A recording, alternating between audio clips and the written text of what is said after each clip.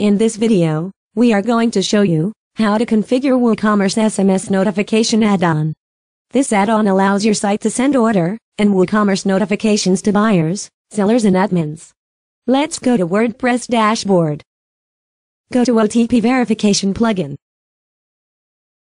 Click on Add-ons tab. Click on Settings button. Let's configure settings for order status notifications. Click on Configure button. Enable SMS notification checkbox. Enter recipient's number. You can create your own SMS body here. These are available tags for SMS body. Click on Save Settings button. Once your customer will click on Place Order button, you will get SMS notification.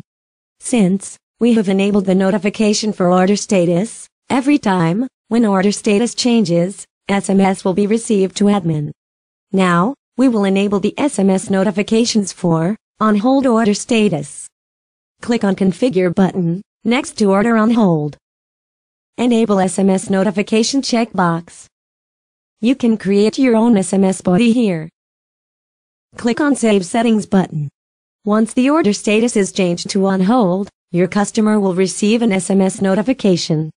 Similarly, you can enable the SMS notifications for the rest of the order statuses. Let's enable notification for new account. This is default WooCommerce registration form. Click on Configure button. Enable SMS notification checkbox.